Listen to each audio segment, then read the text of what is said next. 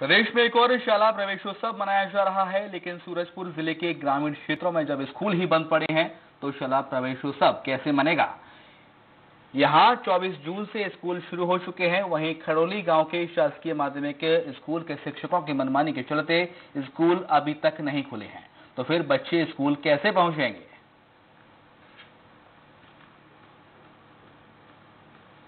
ग्यारह बजे पहुँचा यहाँ तो कोई गुरु टीचर नहीं दिख रहे हैं। तो कहाँ कितने कितने क्लास यहाँ संचालित होता है?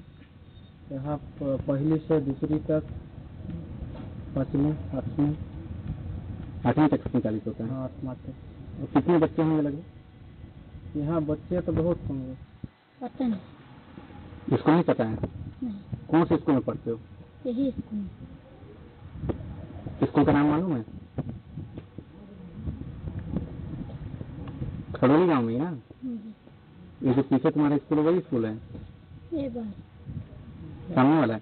हम्म, वहीं आए सर लोग के माध्यम से जानकारी प्राप्त हुई है और निश्चित तौर पर शिक्षा के क्षेत्र में प्रशासन सतर्क है। अगर यह जानकारी सही पाई जाएगी तो सब पूरे स्टाफ का आज दिनांक तक का अवैतनिक अवैतनिक किया जाएगा। साथ ही उनके खिलाफ अनुशासनात्मक कार्यवाही भी की जाएगी। इस बुलेटिन में इतना ही खबरों का